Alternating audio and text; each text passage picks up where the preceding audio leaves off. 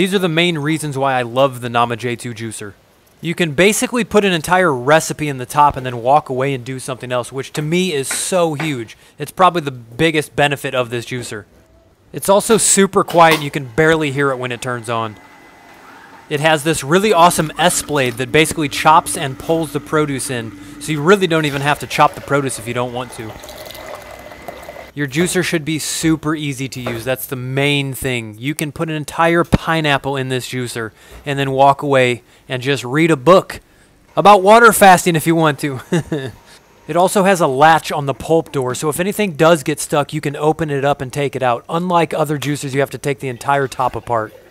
I mean, overall, it just makes a great tasting juice that saves so much more time than most other juicers.